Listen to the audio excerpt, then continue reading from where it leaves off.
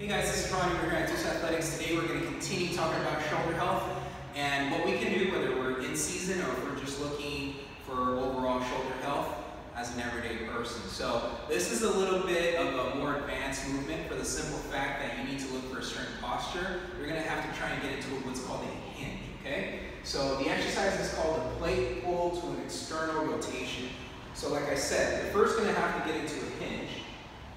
So I'm sticking my butt back, looking to engage my hamstrings. From here, I'm going to find some light weights. Okay, you don't want to use heavy weights because then the, the work is going to be moved from the smaller stabilizers of the rotator cuff to the major muscles like your lats, your deltoids, and all that extra stuff. So it has to be uh, done with light weights. So we're going to get into a hinge. I'm going to bring my elbows up to 90 degrees, and I'm going to do the external rotation, bringing my, my hands up. So I'm simply rotating around the elbow.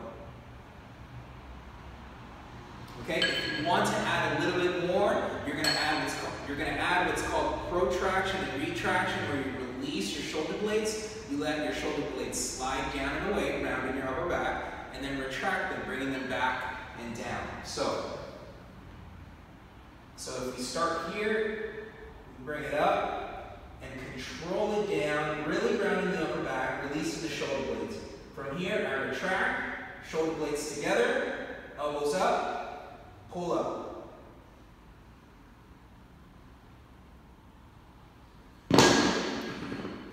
So there you go. You can do uh, about 15 to 20 reps, a couple of sets, and you can combine that with some other tubing exercises from previous blog posts. And if you actually go to March 22nd, you'll see a full program.